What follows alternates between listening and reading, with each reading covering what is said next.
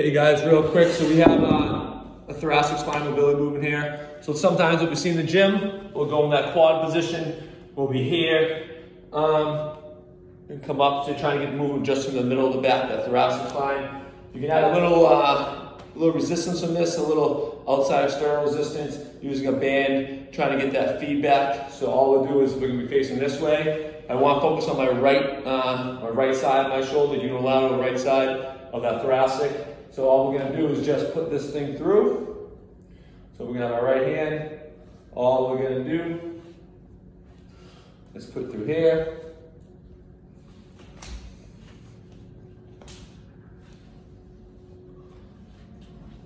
So we get in this position, so it comes up in the back.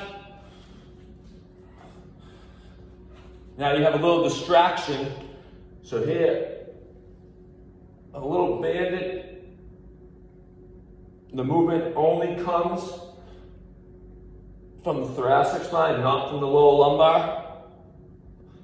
That band can add a little bit of distraction as you come up.